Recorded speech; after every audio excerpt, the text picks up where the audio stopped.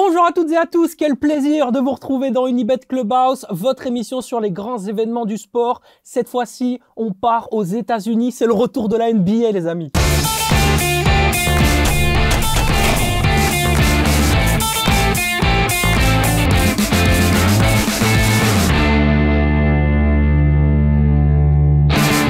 Et pour parler de NBA, pour parler de NBA, mais je vais le dire, le dire trois fois, pour parler de NBA, qui d'autre que monsieur Duke Chomba Comment ça va, Duke? Mais nickel. Franchement, ça fait plaisir d'être là avec vous. Mais Bienvenue, hein. Franchement, c'est Merci. Très heureux d'avoir une, une star euh, de la NBA ici avec nous. Pour star de la NBA, euh, une légende. voilà. Une légende. Une véritable légende. Duke, tu as été un ancien euh, basketteur professionnel pour les gens qui, qui, qui ne le savent pas. Tu me disais tout à l'heure en off, tu as 44 ans, tu ne les fais pas du tout. Merci. C'est voilà, tu me disais c'est c'est la crème de coco. C'est la crème de coco. Ah, si vous voulez, j'en ai dans mon coffre, mais bon, ça, ça c'est. Ah, next step.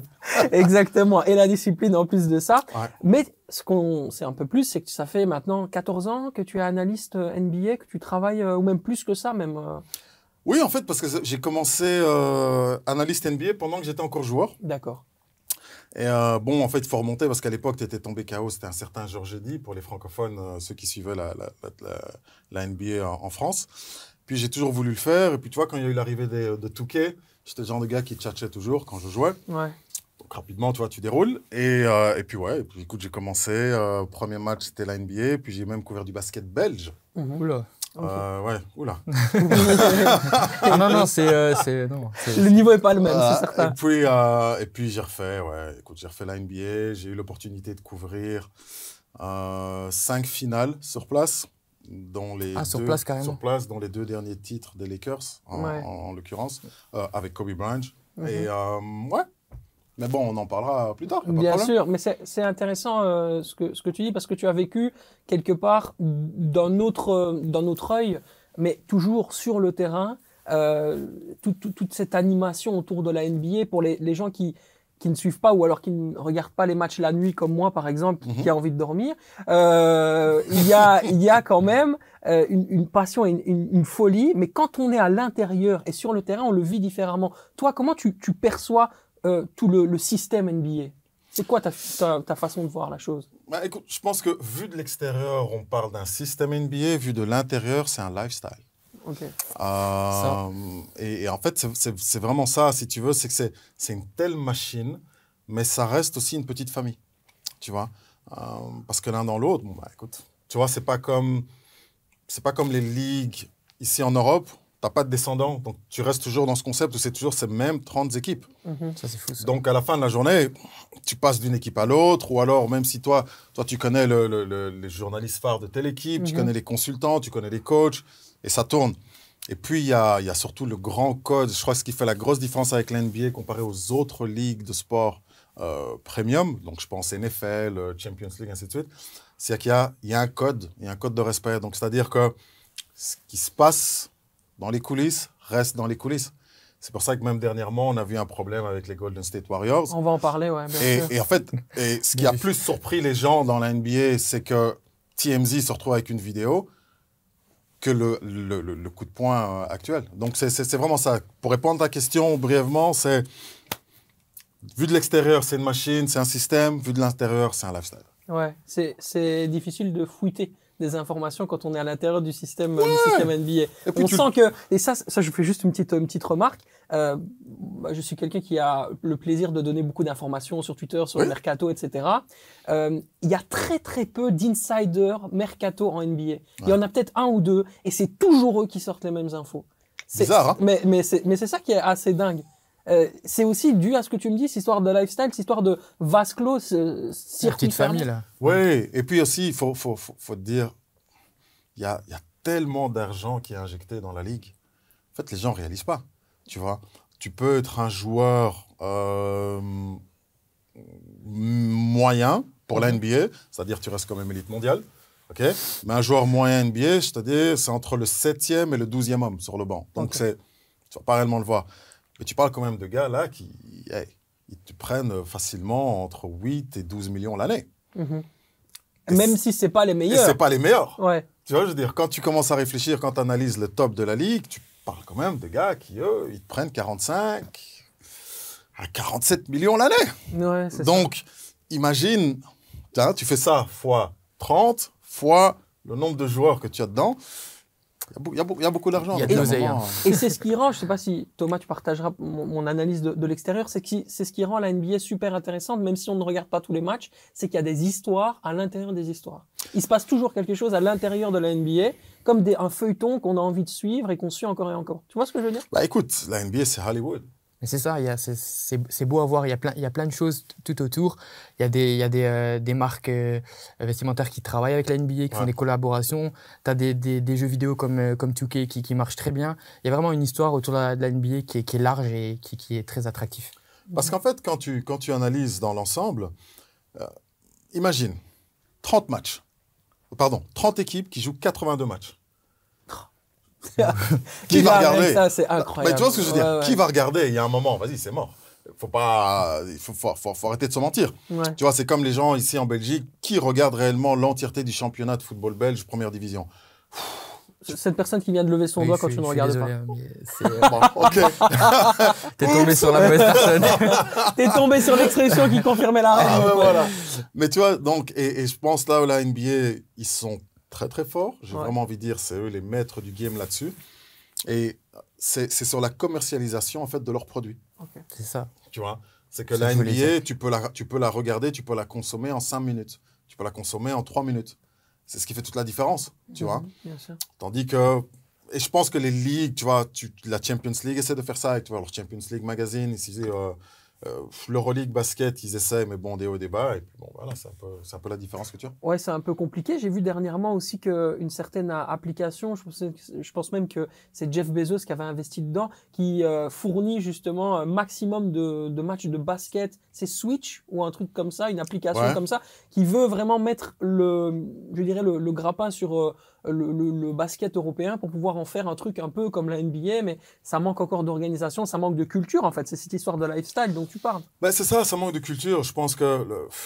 Bon, ben là, tu vois, on va commencer à, rentrer dans des conversations beaucoup plus Ouais. profondes. Mais j'ai envie de dire, la, la grosse problématique qu'on a avec l'Europe, c'est que hum, ils essayent de traiter le les grosses ligues européennes Mhm, comme si c'était des produits américains. Mais le problème, c'est que l'Europe, on n'a pas une culture à l'américaine. Mhm. Tu vois, ouais, comprends. tu es obligé de respecter la culture italienne, tu es obligé de respecter la culture en France, tu es obligé de respecter la culture belge, allemande, ainsi de suite, qui est différente. Aux États-Unis, boum, c'est un billet, c'est la même culture, euh, Ouais, bonne ou mauvaise, ça c'est encore un autre débat. ouais. Mais donc, et tu vois, je pense qu'ici, il faut quand même plus tenir compte, je pense, de la particularité, de la différence que tu as avec les différents championnats Mhm. et ces cultures. Après, je pense que ça sert à rien de comparer parce que ce sont deux mondes différents et ce serait dommage que, que l'Europe euh, veuille faire la même chose que, que, que l'Amérique parce que sinon, tu aurais plus cette, euh, cette particularité de la NBA.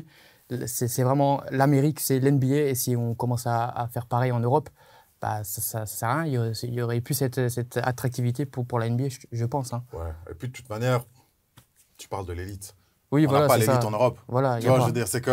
Y a il y a- il y a- non, mais bon, il y a un moment, on peut tourner autour du pot comme on veut. Ouais. Euh, écoute.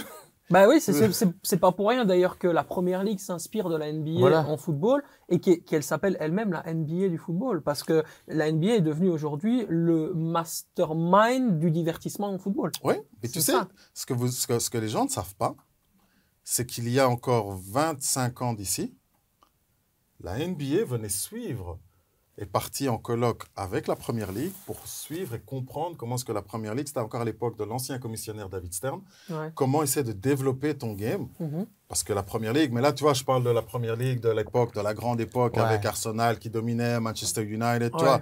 C'est- donc, cette ligue-là, et en fait, la NBA s'est fortement inspirée de l'impact de la Première Ligue parce que la, la Première Ligue a toujours eu cet impact aussi et cet appui international. Tu vois, tu vas en Asie du Sud-Est, euh, tout le monde te parle des clubs de la Première Ligue, donc il y a quand même cet impact-là. C'était c'était eux les premiers qui étaient venus avec les tournées en Asie, tu Ouais. vois, les tournées euh, en Amérique du Sud. C'est seulement après ça que la NBA, c'est de là que la NBA s'est inspirée de commencer à faire les- leurs tournées, comme euh, maintenant tu as Golden State qui revient Mhm. du Japon, Mhm. euh, tu as les autres qui étaient à Abu Dhabi. Donc, tu vois, c'est un petit peu cet échange de connaissances. Ouais, ils s'envoient des bonnes Voilà, énergies. Quoi. et qui Ouais, fait qu'aujourd'hui, ben, regarde, on n'a même pas commencé depuis 5-10 minutes, et la première chose, les deux premières ligues dont on parle, c'est La Ouais, NBA la et on la compare avec la première ligue euh, en Eh, Angleterre. on, a, on a parlé du championnat belge aussi. hein. Vite fait. vite fait, vite fait. hein. Deux spies, là. Ouais, assez rapidement, effectivement. Je voulais revenir euh, sur ce que tu, euh, tu as dit tout à l'heure. euh, tu as appris à connaître un petit peu plus de l'intérieur un, un grand homme du, du basket international, une légende, qui est Kobe Bryant. Euh, voilà, paix à son âme, bien sûr. Ça sûr. fait, on va bientôt euh, fêter, on va dire. On ne fête pas un Ouais. anniversaire de, remémore. mort, mais Ouais. voilà, c'est- ça fait bientôt trois Mhm. ans qu'il nous a quittés. Euh, quels sont les meilleurs souvenirs que tu as eus euh, avec lui à ses côtés, les, les choses qui te restent comme ça gravées euh, dans ta mémoire? Waouh Ouf Anecdote, on veut des anecdotes. hein. Euh, écoute, on était. Je crois que. Je sais plus c'était quelle année. En fait, c'est la finale NBA Los Angeles Lakers Orlando Magic. Et on se retrouve. Donc, c'est dans les. c'est le- on était à Orlando. Et euh, les Lakers jouent bien. Kobe joue pas très bien. Il perd deux balles à la fin du match. Ils perdent le match. Moi, j'ai mon passe, c'est comme je connaissais euh, Big Up justement aussi à lui, euh, c'est c'est l'un de mes meilleurs amis, c'est euh, Didier Mbenga, Ah ouais. Ah qui oui. joue aussi les Lakers. Et donc, bon, moi alors, je termine de commenter le match, bam, et puis je descends et je vais dans les vestiaires. Mais alors, au moment où moi je vais- j'a- j'arrive dans les vestiaires, il y a tous les médias qui sont derrière nous, donc la sécurité les bloque. Et en fait, moi, je me retrouve dans un sas et je suis juste avec Kobe. Ah. Donc, c'est juste lui et moi. Tout seul, genre. Juste, toi, voilà, voilà. un, un moment d'intimité, un moment de magie, quoi. Qu'est-ce que je Et- vais dire ben, ben, C'est ça, mais regarde, tu vois, la- la- ta première action, c'est waouh, je suis avec Kobe Bryant, tu fais ci, tu fais ça.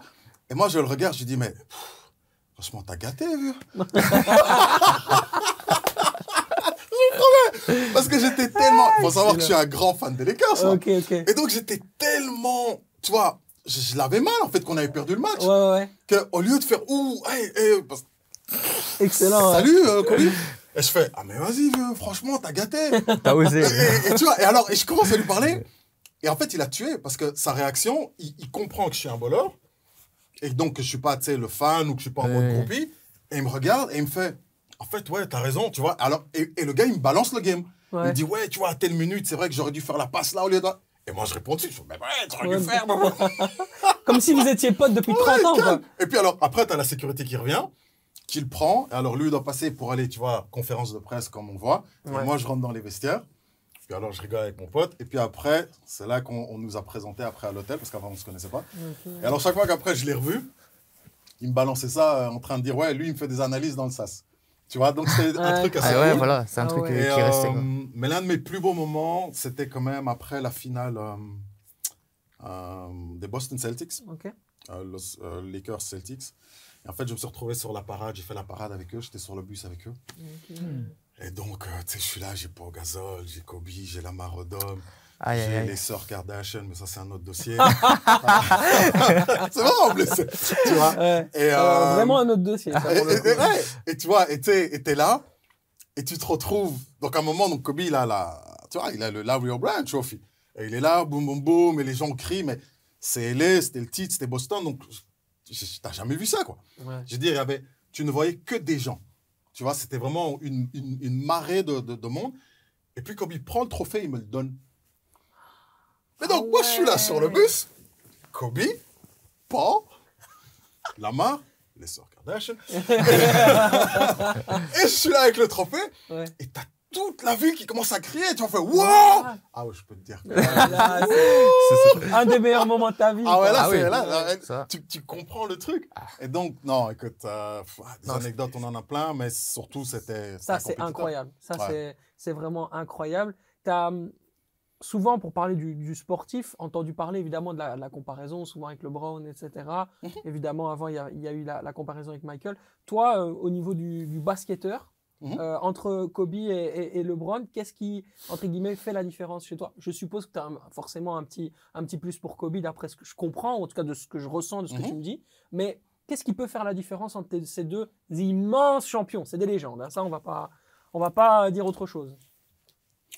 Euh, Simple. Kobe Bryant, c'est un assassin. Ok. LeBron James, c'est Arsène Lupin. Ah, Ok, d'accord. Ok, ok. Ouh, ça c'est c'est pas mal. C'est pas mal, ouais. C'est pas mal. T'as réfléchi, mais. Non, pas du tout. En fait, c'est pas mal. euh, non, je veux dire, tu as Oui, réfléchi tu là, vois, ouais. ouais, ouais. Ouais, c'est ça, Non, ouais. en fait, c'est- en fait, le truc, il est là. C'est que, écoute, j'ai eu la chance de croiser LeBron à plusieurs reprises. On a fait, on a même fait une interview euh, ensemble, un truc sur les Champs-Élysées, un délire, tu Wow. vois, vraiment bien. Ouais. Euh, j'ai eu le temps de, de ne pas apprécier LeBron, de l'apprécier, de se dire bonjour, de, donc, tu vois. Mais Kobe Bryant, c'est un assassin, en fait. Et c'est ça que, c'est ça que les gens, en fait, les gens ne comprennent pas. C'est que euh, tu regardes un Michael Jordan, les gens ont vu la, de Last Dance. Mhm. En fait, ce qui, il y a, pour moi, il y a une séquence qui, qui, qui, qui résume tout dans The Last Dance. C'est quand Michael Jordan est dans les vestiaires avec sa batte de baseball, son cigare. tu vois déjà la folie du gars. Ouais, ouais, tout à fait. Et le gars te dit, ça sert à rien de chambrer quand tu mènes. Il faut chambrer quand c'est le début. Tu vois, je veux dire? Donc, tu, tu vois le concept. Kobe Bryant, c'est la même chose. Mhm. Et, et en fait, et tu ressens ça sur l'ensemble de la carrière. C'est pour ça que je dis Arsène Lupin. LeBron James, il te vole des stats. C'est des Ouais. stats, c'est des stats, c'est des stats, c'est des stats. Tu regardes LeBron, tu fais, pouf, Ouais, c'est incroyable. c'est ouais. pas possible. Ça fait 20 ans que tu es en NBA, tu fais encore autant de points, tu marques autant de styles, Ça tu fais, Ouais. tous des trucs comme ça. Mais in fine, en tant que sportif, et même, tu vois, les, dans les autres shows que vous faites, parce que là, on parle basket, mais quand tu quand invites des footeux ou des choses comme ça, ou des anciens coachs, au niveau du sport professionnel, qu'est-ce qui fait la différence? C'est la gagne. Mais c'est des tueurs, en fait. Mais c'est ça, C'est des tueurs. Tu vois Ouais. C'est toi, pour arriver, pour être un sportif pro, tu dois déjà avoir un truc différent en tête. Mhm. Parce que, tu vois, c'est comme, euh, je parlais à pas forcément se faire aimer dans le vestiaire? Moi, j'ai entendu pas mal d'infos qui me sont revenues sur Michael Jordan, qui n'était pas nécessairement toujours aimé de son vestiaire. Il se mettait parfois en, en conflit avec, des, avec ses coéquipiers parce qu'il y avait ce truc de ouais, mais je veux toujours être le meilleur, je suis un tueur, quoi qu'il arrive, quoi qu'il en coûte, c'est moi le numéro un. Quoi. Tu sais, je pense pas que la... Mais les deux autres sont comme ça aussi? Euh, mais c'est la différence. C'est pour ça que, tu vois, Ouais. je dis même avec Lupin, tu Ouais. vois. Arsène Lupin, il est pas méchant. Non, il est super gentil d'ailleurs. il va, il va te voler sans que tu le vois. C'est ça, tu vois. Lu- Lu- Lu- Lupin, voilà, il est cool. Ouais, Un assassin, c'est différent. ouais. Un assassin, tu le vois Un, une fois. un assassin, c'est différent. Voilà. Tu le vois une fois, c'est puis tu le vois plus. si sa mission, c'est de... Boum, ah ben, tu sais quoi être Boum. Ouais. Et donc, en fait, la différence, elle est là. Et tu le vois, même dans la, dans, dans la carrière des gens, LeBron a toujours eu ce besoin d'être apprécié, d'être validé par les autres. Kobe Bryant n'a pas, ce besoin- n'a pas eu ce besoin-là. Plus Michael humble. Jordan non plus, tu vois. Et, donc, c'est juste ça. C'est juste un. c'est- c'est- C'est c'est- c'est comme tu as des gens qui, qui ont besoin de likes tous les matins sur leur tweet Ouais, c'est ça. et d'autres qui ne tweetent pas. Mais il y a une petite rumeur qui dit qu'il attendrait que son fils arrive en NBA pour euh, annoncer sa retraite. Tu crois ça? LeBron James. Ouais, mais ça, c'est flag. Ça, tu le sens aussi? Ah, mais là, je valide. Ouais. Ah ouais, Ah, ok, bien sûr. carrément. Ah non, mais euh, c'est flag. Mais ça aussi, c'est encore pour se montrer une belle image, pour être plus Tout propre, à fait. plus Ah, lisse. euh. Voilà. Bon, maintenant, écoute, en tant que père, qui ne le ferait pas? Oui, bien Tu sûr. vois, je veux dire, Ouais. imagine si tu as l'opportunité d'être encore assez bon dans un championnat et de pouvoir, peu importe ta compétition, tu vois, et de, de- et, et de pouvoir participer sur ces trucs-là. Mais bon, c'est sûr qu'il va le faire. Kobe, il y a ce côté un peu, un, un peu plus, euh, un peu moins lisse, un peu plus vrai. Un peu Tu plus humble aussi. Ouais, un peu Ouais. plus humble. Il y a quelque chose de, voilà, de, de moins revendicatif. Tu vois, comme tu dirais par exemple, euh, c'est plus Messi, quoi, Ouais, Bryant, exactement, ouais, dans c'est ça. C'est pas ça? En fait, c'est justement là que les gens se gourrent. Parce qu'en fait, pourquoi est-ce que les gens parlent de Lionel Messi comme ça? C'est parce qu'en fait, Lionel Messi, il parle jamais. Mhm. Tu vois, je veux dire, Ouais. à la base, quand on y pense, Lionel Messi, c'est pas comme si tu entends Lionel Messi qui est là, qui boum, boum, fait Il des se la, interviews. il se la raconte Non, pas. mais. Kobe, il parlait quand même, il faisait des podcasts, il en parlait, il Donc en fait, trucs. en fait, tu sais, pour moi, euh, pour moi, Kobe Bryant, c'est plus, c'est plus Cristiano, ok. tu vois. Ouais. Et euh, parce qu'il y a un moment, on va se réveiller et on va se dire, mince, en fait, Cristiano Ronaldo, c'était le GOAT, c'était le tueur. Tu vois, je veux dire? Ouais, C'est juste que les gens, en fait, ils, ils- ils- je- on a un truc avec Cristiano que, tu vois, les gens bug sur un Cristiano. Et je pense que c'est ça. Tu Mhm. vois, euh, avec Kobe Bryant, c'était la même chose. Tu vois, les gars qui sont là, Cristiano, c'est un assassin, c'est ça que je veux dire. Ouais, c'est ça, ouais. C'est des gens qui, qui ne font euh, pas de concessions et qui sont dans la répétition, comme tu me disais tout à l'heure. La répétition. Très bien. Je, je, je pense qu'on peut partir une heure sur la même Oui, discussion, oui, donc on va quand même ouais. avancer sur le conducteur parce que c'est c'est fantastique. On va partir sur le que oui, que non. Que oui, que non, très facile, ou oui ou non. Trois questions et derrière, ça enclenche le débat. Les mêmes questions, évidemment, seront débattues. On commence avec un. Les Warriors sont-ils capables de signer le doublé après leur titre de la saison passée en NBA Oui. Stephen Curry, est-ce qu'il va encore être MVP cette année? Oui. Oui. Bon, allez, ça mérite d'être débattu parce que le oui là, il est un peu bizarre. Cleveland a-t-il réalisé le meilleur transfert de l'été en signant euh, Donovan Mitchell et qui est Spida Joker. Joker. Bon, Ah, ça- parce qu'il y a le Joker Non, Que non, il n'y a pas de Joker. C'est lui, Ah, il a que lui, euh, Voilà, c'est comme il est à la Non, maison, il la peu maison. ce qu'il veut. Il est à la maison. J'ai Oui pas, non ah, j'ai pas assez de, de connaissances pour vraiment dire que c'est le meilleur euh, transfert. C'est pour ça que je préfère pas dire oui ou non. Ça sert à rien de, de mentir. Du coup, les Warriors, est-ce qu'ils vont faire le doublé ou pas? Attends, je te donne le petit préambule parce qu'il y a quand même des trucs de fou qui sont passés ces dernières, ces dernières semaines. Hein, parce que Jordan Poole, il a ramassé une mandale absolument internationale. Et ça, les observateurs en NBA disent que ça peut bien jouer sur l'atmosphère du groupe, que Jordan Poole ne sentirait plus du tout de, au niveau de l'ambiance et que euh, voilà, c'est- très compliqué de vivre quand tu t'es battu avec quelqu'un comme ça au quotidien, Mhm. 82 matchs avec une personne voilà, avec qui tu as eu un conflit très fort. Est-ce que ça, ça peut pas être décisif? C'est oui ou non ou Non, non, on vas-y, vas-y, vas-y, on Ah, est parti sur le débat. Euh, Excuse-moi. Euh, ben non, en fait. Non Tu sais pourquoi? Parce que au-delà de ça, au-delà du facteur fierté, parce que c'est ça dont on parle là maintenant. Toi, Toi, tu viens, tu, tu m'en mets une, c'est ma fierté. Tu vois? C'est de l'ego. Ouais. C'est ça. Euh, mais au-delà de ça, il y a l'aspect financier. Ouais, ok. Et là, ici, euh, aussi bien Jordan Poole que euh, Draymond Green Ouais, Green. sont tous les deux en renégociation de contrat. Et il y a possibilité qu'ils qu'ils repartent avec les, hein, avec Mhm. les mâles. là. Bien sûr. Donc, il y a un moment, tu vas te taire, tu vas jouer parce que tu sais que tu ne veux pas sortir du, tu veux pas sortir des sentiers battus parce que tu vas perdre euh, beaucoup d'argent derrière. Et je pense que c'est ce qui s'est passé ici avec euh, même avec les Golden State Warriors, parce que le fait que Jordan Poole lui n'ait pas réagi, n'ait rien fait, bah, il est en train de se positionner réellement sur le long terme avec les Golden State Warriors comme vous pouvez investir en moi pour que. C'est jamais bon de s'installer dans le confort. Mhm. On est aussi face à une équipe vieillissante avec les Warriors. C'est ça. Curry, il, va avoir 30 il a 32 ans, il va en avoir 33. Mhm. C'est pas non plus euh, l'équipe de l'avenir. quoi. C'est une équipe qui arrive à, qui est arrivée à l'apogée euh, collectivement, non? L'année dernière. Ben alors écoute, comme la langue de Molière est une langue belle et précise, moi j'ai même envie de te dire, c'est une équipe qui est arrivée à maturité. Ah, magnifique. À maturité, Pas mal. ça veut pas dire en déclin. Ça veut dire qu'elle est arrivée. Ouais. euh, À son pour- max. pour- elle est toujours à son max. Elle Moi, n'est pas moi- en train de décliner. Parce que quand on regarde même ce qui s'est passé, il faut pas oublier, en fait c'est parce qu'on regarde le titre de l'année dernière, mais il faut pas oublier qu'en fait ce qui s'est passé quand même c'est il y a deux ans, où les gars terminent dernier de la ligue presque. Mm. Ouais, ouais. Et donc le fait de faire ce switch où tu es dernier ou avant-dernier ou peu importe, tu es, dans, t'es dans les abysses là, de la ligue, pour te retrouver sur un turnaround de deux ans, réellement ici euh, au-dessus de la montagne, c'est toi le champion. C'est-à-dire qu'il y a un travail de fond là-dessus qui est non négligeable et c'est un travail de fond qu'on on ne voit pas dans d'autres équipes. Mhm. Donc je suis tout à fait d'accord avec toi que c'est pas euh, l'équipe, c'est pas l'équipe du futur. On est d'accord Parce que là, si tu ajoutes la brouille de Jordan Poole, le fait qu'ils soient en fin de contrat, donc forcément, bien sûr, ça va leur donner envie de se, de, de se rabibocher, en tout cas de travailler.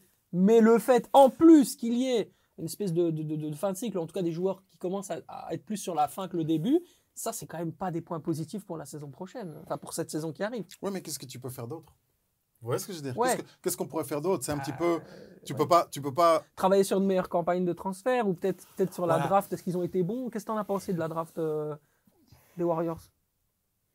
Je trouve que c'était une draft qui était complémentaire à leur équipe, Ouais. à ce qu'ils ont en place. Parce que l'un dans l'autre, on a quand même un joueur qui, lui, est un joueur générationnel, en, en l'occurrence ici Stephen Curry. Ouais, sûr. Euh, et je pense que, On met tout en place autour de lui. oui, il, le- il le faut. Ok. Tu sais, en fait, vous savez, le problème qu'on a souvent dans le sport de haut niveau, c'est qu'on on est toujours. C'est un petit peu cette culture, euh, pour, les plus en- pour les plus vieux, je dirais la culture M- euh, MTV, Mhm. qui est What's Next Tu vois, toujours c'est quoi le prochain, c'est quoi le prochain, c'est quoi le prochain Euh, Ou alors, bah, pour les plus jeunes, on va dire cette culture TikTok. Et donc, en fait, où tu vas, où les gens, tu, tu, tu, tu scrolls, scrolls, scrolls, scrolls, scrolls. Et en fait, le problème qu'il y a, c'est qu'aujourd'hui, au lieu d'apprécier réellement ce qui se passe sur les vrais, euh, savoure, savoure les joueurs. Tu vois Ouais. Combien d'années, ça fait combien de temps qu'on nous parle que Manchester United, ils sont là en train d'investir sur des jeunes joueurs? Ils investissent sur des jeunes, ouais, ok, mais après, derrière, tu te retrouves où? Ouais. Ils sont toujours dans les abysses. Donc voilà. On a un expert. Mais oui, Quentin, il est là, il nous écoute depuis une demi-heure. Il se demande quand est-ce qu'on va lui passer la parole. Ben voilà, mon Quentin, elle est là, la parole. Est-ce que les Warriors de Golden State vont signer le doublé ou pas? Alors bonjour à tous. Et comme l'a dit Duke, je suis tout à fait d'accord avec lui. Après deux saisons à vide, les Warriors, ils ont réussi une magnifique saison où l'on emporté avec un magnifique trio Curry, Thompson, Green. Mhm. Même si la compétition, je pense, cette année va être très dure, notamment avec les Celtics qu'ils ont battus Mhm. en finale, mais aussi Milwaukee. Moi, je les vois bien faire le doublé pour une très belle cote de 7,50. 7,50, c'est C'est intéressant. pas, Ça c'est donne pas les envie favoris. de... C'est pas les favoris. Selon les cotes. Ce sont pas les favoris, Non. c'est ça? Et les cotes, elles disent quoi sur les favoris? 7 pour Celtics et 7 pour Milwaukee. Ok. Moi, je mets sur Milwaukee, moi. Ouais, Wow. les Bucks, ouais. Intéressant. Milwaukee, qu'est-ce que t'en penses? Euh... Ton feeling, hein, t'es pas non plus obligé de rentrer dans les détails. Ouais, ouais, non, non, non. non. Euh, écoute, Milwaukee, Yanis Antetokounmpo, c'est Ouais, un c'est monstre, c'est un Ouais. tueur, c'est... Mais euh,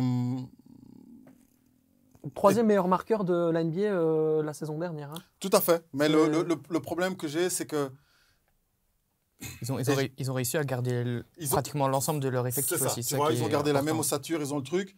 Mais si, si tu analyses, en fait, il y a... les Warriors sont en train d'essayer d'accomplir un truc qui est qui n'a pas été fait sous l'ère LeBron. Tout le monde dit que c'est l'équipe, c'est l'ère- LeBron James en NBA. Mhm. LeBron James a quatre titres NBA. Steph Curry en a quatre. Ouais, c'est 4 à 4. hein. Tu me parles ici, justement, notre expert nous parle, quels sont les favoris.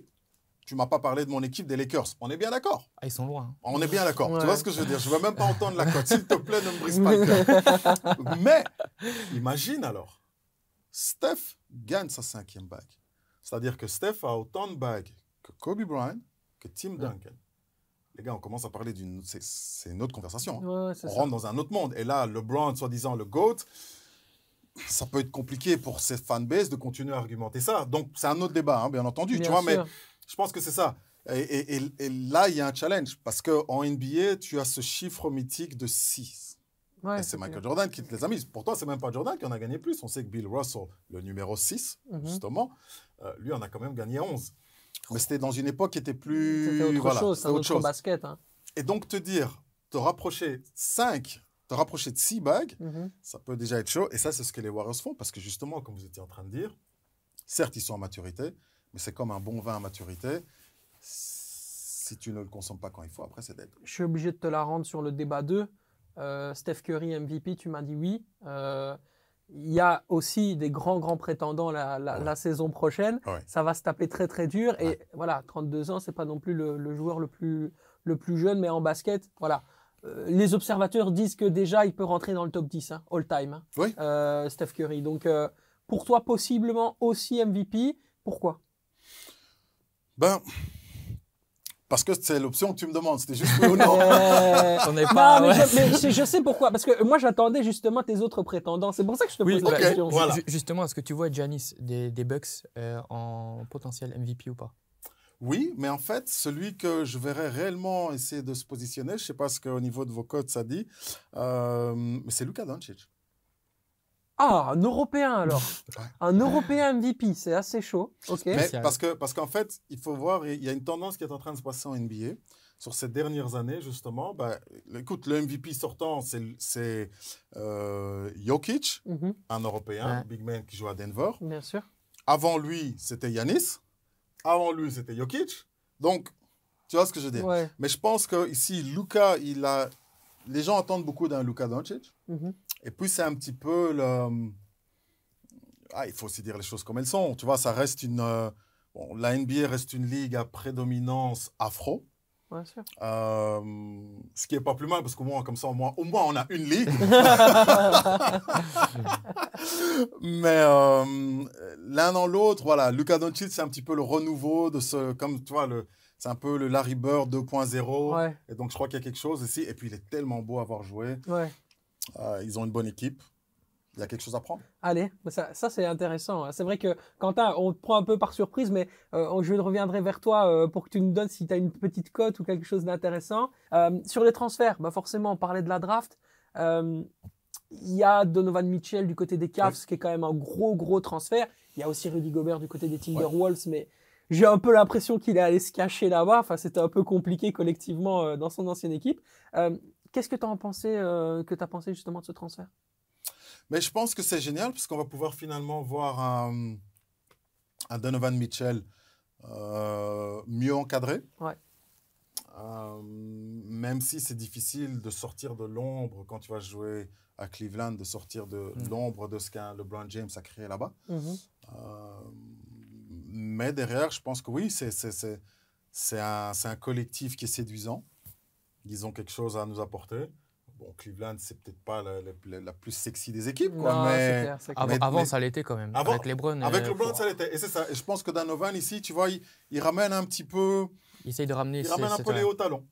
Voilà. Ouais, c'est c'est ça exactement. Mais en, en dehors des, des transferts, moi je pense que la période la plus intéressante, c'est la période avec les rookies, Ouais. avec la draft et avec les jeunes joueurs. Je t'avais envoyé un message en disant non mais ce Victor euh, Wembayama, c'est ça? Mhm. Wembaya, attends, non c'est Wemba, Wem- Wembanyama. J'aime pas euh, manger les, les- les noms de famille Ouais, des gens. J'essaye de les respecter pas parce que là, nous, il nous, a respecté. Ouais. Cette fameuse nuit à Las Vegas, là.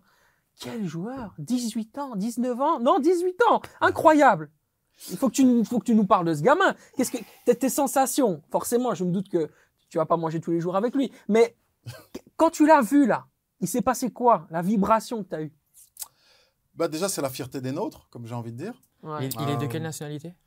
Euh, bon, on va dire les, les Français. Il est français. Français, il est d'accord. tu français. vois, ok. mais d'origine Malienne. malienne. Ok. Mhm.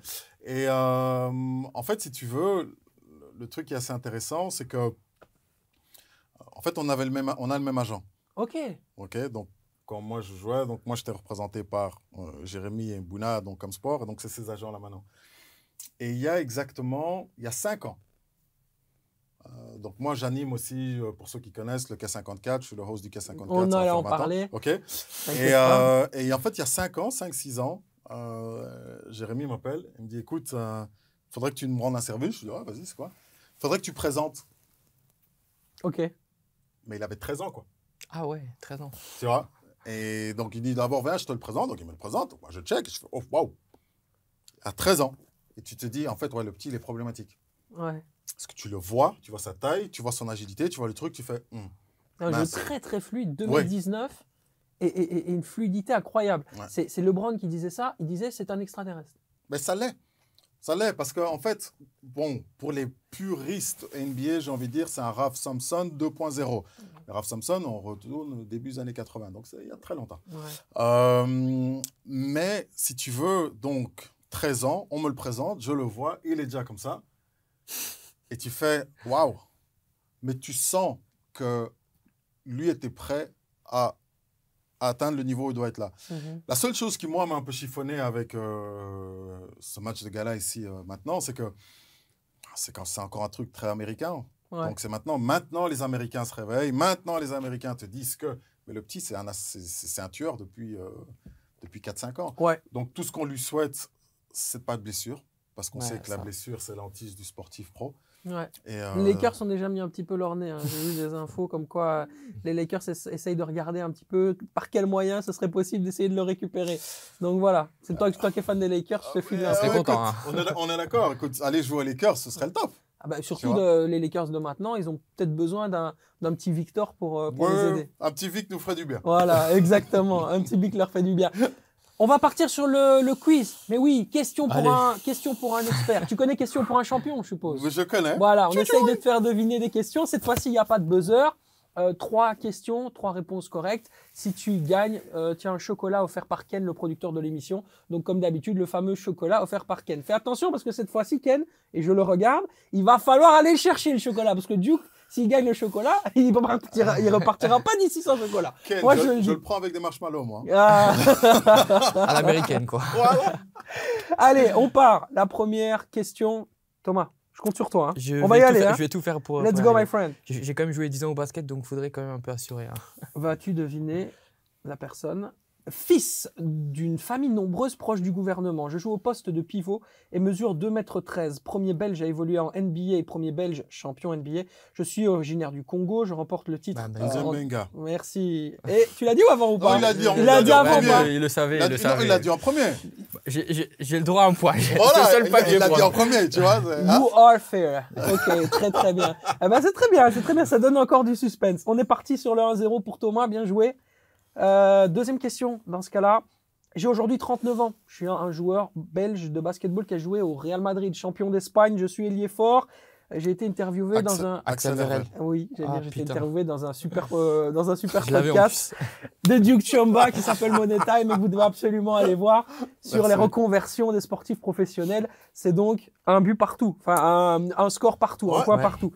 On est à la dernière, cette fois-ci un peu plus compliqué. Né le 29 septembre 1988 à Washington, D.C. Je suis basketteur américain, je gagne près de 43 millions de dollars par an. Je joue actuellement aux Nets de Brooklyn en 2010. Kevin Durant. Bien joué c'est gagné Et Kenny va devoir aller tout de suite à la supérette parce qu'il n'avait pas du tout prévu. Allez Bien joué, bien, Bien joué. joué, bien joué. Je vais m'intéresser à toi justement et tout ce que tu es en train de faire. Je parlais de ce podcast. Money Time. Incroyable cette reconversion que tu nous, que tu nous proposes, Duke. Euh, Qu'est-ce qui t'a attiré dans les médias? Pourquoi cette reconversion? Pourquoi les médias dès que tu as été euh, euh, que tu as arrêté la carrière Qu'est-ce qui te, te faisait vibrer là-dedans? C'est tout simplement en fait le manque de communication cohérente quand j'étais sportif. D'accord, intéressant ça. Et, euh, et pour résumer de manière assez, assez, assez, assez brève, regarde aujourd'hui, le journalisme, ça devient compliqué. Mhm. À partir du moment où les gens te font des articles sur un tweet ou sur un post Instagram, et puis ils te sortent une demi-page ou une page, ça devient chaud, quoi. Ouais, ouais. Tu vois? Et donc, ça veut dire qu'en fait, il y a une distance qui est en train de se, qui, qui, qui se créait déjà, moi, à mon époque. Et tu vois, aujourd'hui, c'est d'autant plus criant. Mhm. Tu vois? Et, euh, et donc, je me suis toujours dit, moi, j'ai toujours été, comme on dit dans le jargon, un storyteller. Tu vois Mhm. J'ai- J'aime raconter des histoires, j'aime écouter les histoires. Et je pense que c'est là la richesse, finalement, de- des rencontres. Tu vois, c'est que moi, je peux avoir mon histoire, Ken peut avoir la sienne. Tac, tac, on est tous là. Tu vois Et c'est ce partage-là qui va faire qu'on va passer à un autre niveau. Pour revenir à Money Time, là, je te donne une exclue. Oula. Tcha, tcha, tcha, Ah, je te donne une exclue. Exclusivité pour vous. C'est parti. il y a, en fait, il y a quelques années, j'avais investi euh, dans l'organisation de la finale de la Coupe de Belgique de basket. Mhm. C'était nous les premiers à l'avoir amené au Palais 12 à Bruxelles. Ok. Et faire une longue histoire très très courte, euh, je me suis fait arnaquer par les membres de la fédération, par les membres de la Ligue Pro. Ah ouais, chaud. Et donc, je me suis retrouvé, franchement, euh, un investissement, j'ai perdu énormément d'argent. Ah ouais. Je me suis retrouvé dos au mur. Et à ce moment-là, tu vois, tu as envie de l'exprimer. Et en fait, je regardé autour de moi, je me suis rendu compte qu'en fait, il n'y avait aucun média où, en tant que sportif, je pouvais exprimer, je pouvais parler d'une problématique qui ne touchait pas à un résultat d'un match. En fait, ce que tu reproches, c'est le formatage. Voilà. Et donc, je me suis dit, bah, alors, tu sais ce qu'on va faire? On va créer nous-mêmes. Et alors, c'est là que j'ai commencé à rédiger le concept. Donc, ici, de, de ce podcast qu'on appelle Money Time, euh, Mhm. pour ici. Et parce que je me suis toujours dit, mais tiens, si moi, ça m'arrive, mais je sais qu'il y a plein d'autres sportifs aussi qui, eux, doivent parfois se, se faire Ouais. arnaquer, tu vois, sur, des- sur certains investissements ou, ou, ou parfois même eux ont envie de conseiller, tu vois, euh, ces trucs-là. Mais en fait, je me suis rendu compte qu'il n'y en avait pas une plateforme où tu pouvais avoir ce partage d'expérience, de vision. Eh ben, alors, tu le fais, quoi. Et tu portes d'ailleurs une magnifique veste à son nom, Deuce Magazine. Explique-nous un peu, Deuce Magazine. Pourquoi Deuce Ha ha ha Parce que du coup, tu t'appelles Duke, mais Deuce Non, Duke, non, quand quand même même. très différent. Quand même, oui. Ouais. Parce qu'en fait, Deuce, c'est la... C'est deeper than that. C'est deeper than that, mais c'est Ouais. c'est la dualité Ok. entre le sport, donc en anglais, c'est the duality between sports and entertainment. Ok.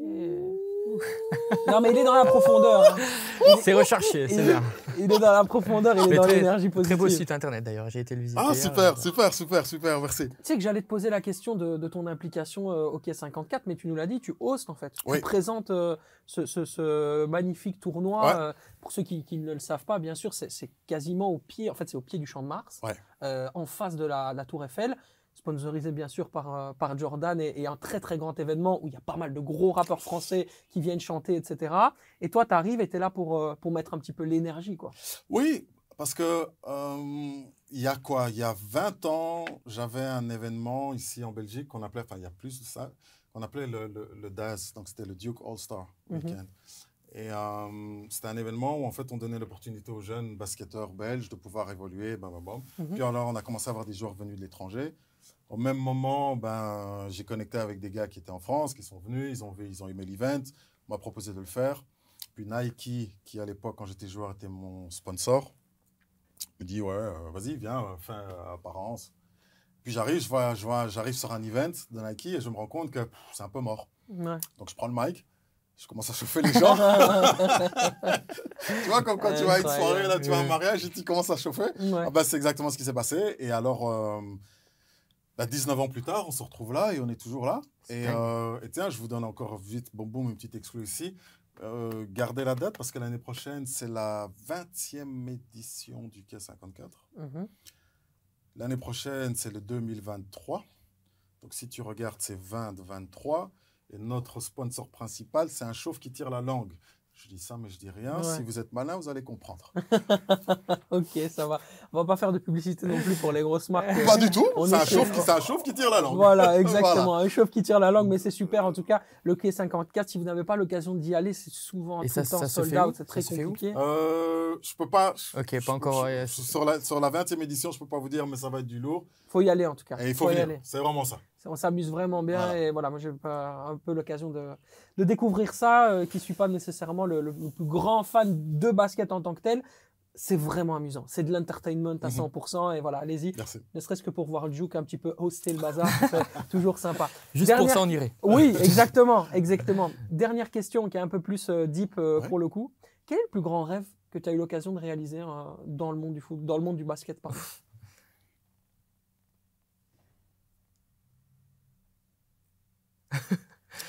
Champion, la parade. Les parades avec les Lakers. Ah bah oui, ouais, Parce ça. que, euh, parce que l'un dans l'autre, en fait, si tu veux, j'ai vraiment été. euh, J'étais avec eux. Mhm. Donc, tu sais, sur tout, le- sur, sur tout le processus. Quelle expérience. Puis j'étais avec eux dans le vestiaire. Je crois que j'ai même, je crois que je- sur, sur mes réseaux, je crois que j'ai même une photo où je suis avec eux, on se balance du champagne, Ouais. des trucs comme ça, tu vois. Euh, donc j'ai eu l'opportunité de faire ça, j'ai eu l'opportunité d'être sur le bus avec eux, et surtout en fait après la parade. Parce que tu vois, tu as toujours le concept de la parade et on voit comment ça se passe. Et puis Ouais. après, c'est quand, pouf, on se retrouve, on est dans le lobby d'un hôtel qui est privatisé, tu es dans le truc, et tu vois les gars, et, et les gars t'acceptent en fait, comme tel, et, et c'est là que tu te dis, tous les chemins mènent à Rome finalement. Ouais, c'est ça. Le, le jeune Duke de, de 8 ans, 7 ans n'aurait jamais rêvé ça, quoi.